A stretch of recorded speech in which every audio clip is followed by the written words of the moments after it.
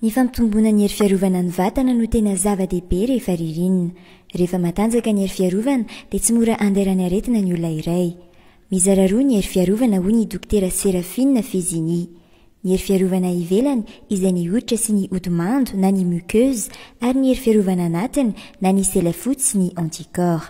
Mila atanjahana kokoa indray izany ny hery fiarovana satria efa mafy kokoa izany ny ady ny miady amin'ireny virus ireny satria tsy ampy le masoandro manampy an'le vatantsika mamono an'le virus sy ny bacterie.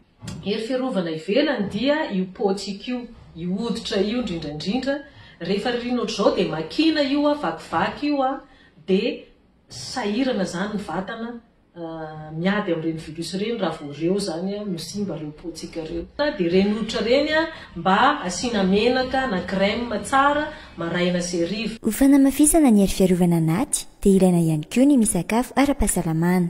Vadiana anefa ny misakafo mahamay loatra mba tsy hahasimba ny odi-mando any amin'ny fantsona sy taova mitondra sakafo na ny muqueuses digestives. Tsy hoe rehefa mangatsiaka ny andro dia mihinana zavatra mamay, mamay manimba ny muqueuse digestive tsika, nefa ny iny hery fiarovana ilay ivelany. Raha te hafana dia tsy mi s'exposer amin'ny hatsiaka be ivelany fa.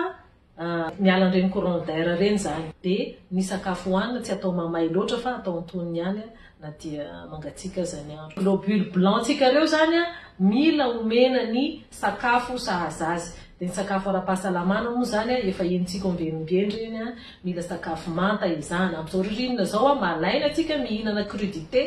Fa te zavatra mafana foana. Non, miaritra, hohanina foana ny crudité, hohanina foana voankazo, hohanina foana io na tsy te hihinana an'io aza raha ohatra ka te ho tsara hery fiarovana. Azo atao ihany koa raha ilaina ny mihevika na mampiasa ny fanafody vita tamin'ny akora voajanahary fampiasa mahazatra toy ny ravintsara, ny tantely sy ny sakamalao entina miaro amin'ny sery. Fa ambonin'izany dia ilaina hatrany ny fitaizam-batana.